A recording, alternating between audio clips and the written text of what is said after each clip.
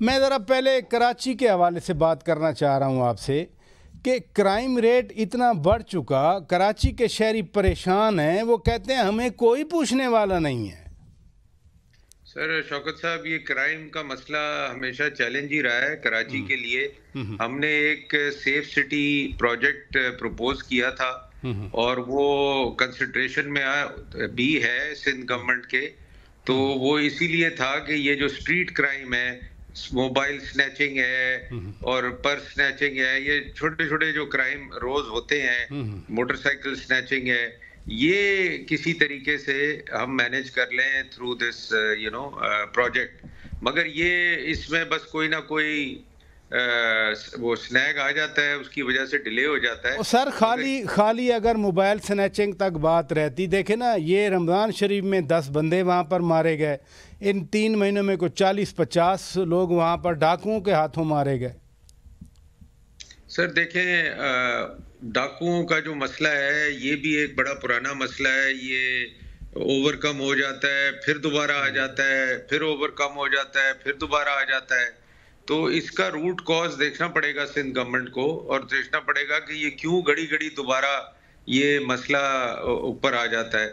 مگر آئی فیل کہ یہ جو اس وقت کرائمز آپ کو نظر آ رہے ہیں جو لوگ آئی تھنک میں سمجھتا ہوں بڑے افسوس کی بات ہے کہ یہ لوگوں کو اپنی جانیں ضائع کرنی ہوئی ہیں اور یو نو مطلب بڑا بڑے دکھ کی بات ہے۔ مگر یہ بیسیکلی تو یہ لڑائی جھگڑے کے بیچ میں یہ چیزیں ہو جاتی ہیں نا۔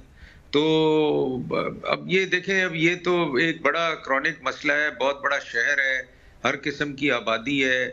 اور آپ روٹ کاز کی بات کر رہے ہیں ڈاکٹر خالد مقبول صدیقی صاحب سربراہ ایم کے ایم پاکستان۔ انہوں نے تو روٹ کاز بتا دی وہ کہتے ہیں نہ ڈاکو کراچی کے اندر کے شہری ہیں رہنے والے ہیں نہ پولیس کراچی کی ہے۔ تو اس لیے یہ مسئلہ ہے ایک روٹ کاز تو وہ بتا رہے ہیں سر۔ دیکھیں خالد مقبول صاحب کی بات سے میں اس لیے ڈس ایگری کرتا ہوں کہ میں نہیں سمجھتا کہ سارے پولیس والے کراچی سے باہر کے ہیں۔ میں سمجھتا ہوں میجورٹی پولیس والے کراچی سے ہی ان کا تعلق ہے۔ اور گیارہ سال جب ایم کیو ایم یہاں رہی تو پولیس میں جتنی بھرتیاں ہوئیں وہ ساری کراچی کی ہوئی ہیں۔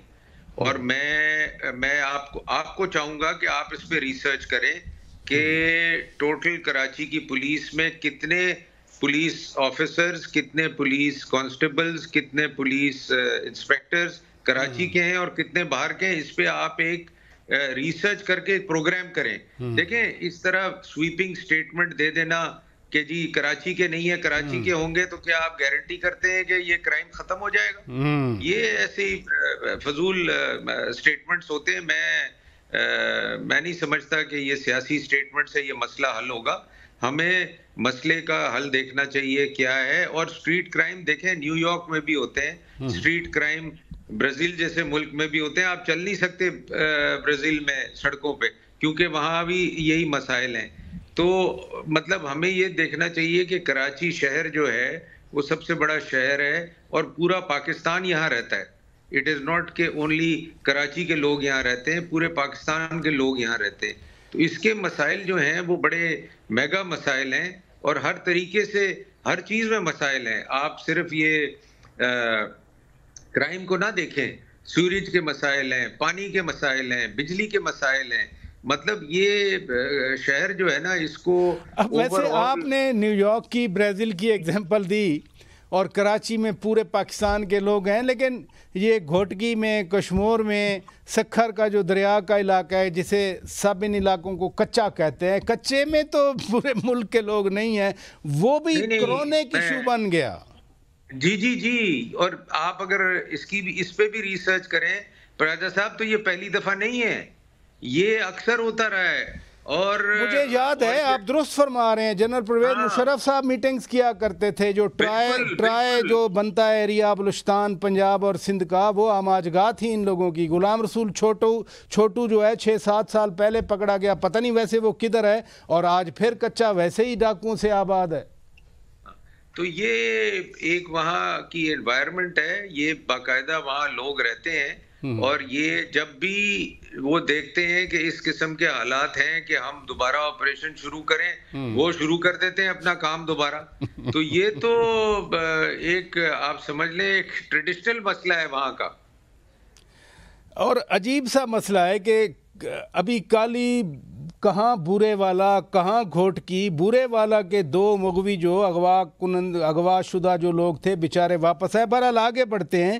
سینٹ کا کل الیکشن ہے۔ کیا سید یوسف رضا گیلانی صاحب چیئرمین واقعی اس بار بن جائیں گے؟ دیکھیں سر وہ اس دفعہ ابھی تو مسئلہ چیئرمین کا اتنا نہیں ہے۔ ابھی تو ہمیں بڑا چیلنج ہے کہ کل سینٹ کے الیکشن ہو پائیں گے کہ نہیں۔ کیا مطلب آپ کو آپ کو سینٹ کے الیکشن ہوتے نظر نہیں آ رہے؟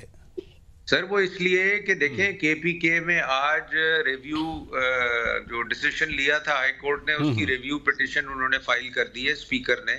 تو اب وہ اٹ آل ڈیپینڈز کہ ہائی کورٹ کیا ڈیسیشن کرتا ہے۔ اگر اوتھ نہیں ہوگا تو الیکشن کیسے ہوگا؟ تو الیکشن تو جب اگر کے پی کے میں نہیں ہوگا تو باقی آپ کی تین پروونسز میں اسمبلیز میں الیکشن ہوگا، آپ کا الیکٹورلی پورا نہیں ہوتا۔ تو اب یہ الیکشن کمیشن کو ڈیسائیڈ کرنا پڑے گا۔ نہیں الیکٹرل کالج جو سینٹ کی خیبر پختونخوا کی سیٹوں کا ہے، وہ تو ہے صوبائی اسمبلی خیبر پختونخوا۔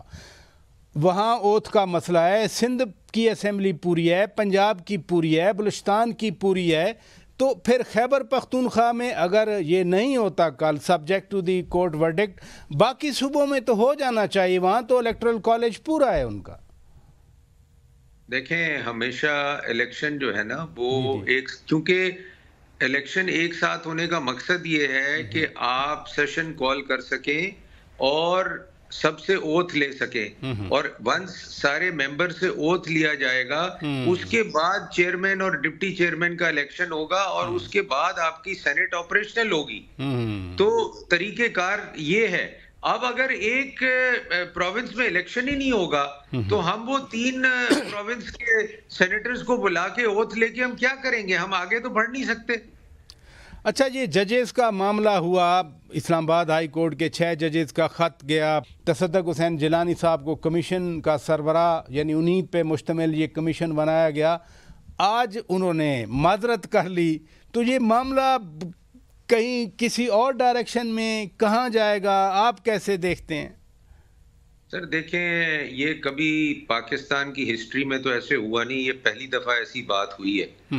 اور میں سمجھتا ہوں بڑی سیریس بات ہے کہ ہائی کورٹ کے ایک نہیں دو نہیں چھ ججز نے بلکہ میں سن رہا ہوں کہ ساتویں ججز بھی ساتویں جج بھی ان کے ساتھ ہی ہیں۔ تو یہ میٹر از ویری سیریس اور کل کو اگر لاہور ہائی کورٹ اور Sindh high court Punjab high court یہ سب اگر اس قسم کی باتیں کرنا شروع کر دیں تو یہ میٹر بڑا خراب ہو جائے گا۔ اب جب چیف جسٹس نے نوٹس لے لیا ہے اور ایک بینچ بنا دی ہے ٹو ہیئر دس میرا خیال یہ سب سے بہتر طریقہ ہے اور یہ پہلے یہی ہونا چاہیے تھا۔